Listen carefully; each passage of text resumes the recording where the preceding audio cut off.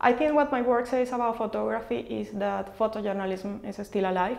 that through my work I could give a voice to those who are suffering, th those who are having a lot of problems in my country. Uh, with the things that I saw there, I could understand that sometimes we are not aware of all the problems that people is having. And I think that was the main power from this um, project, is like to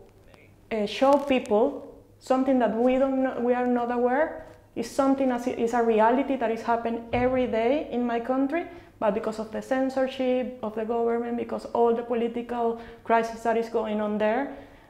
it's, it's impossible for people to know them to know the, the, the, the stories. Um, I was just simply touched by the, the way to, to understand what was going on there and I think just that that was a moment when photography became like so powerful because through the photography I just could capture those moments and now I'm, a, I'm able to, to show it to people around the world or in London or whatever.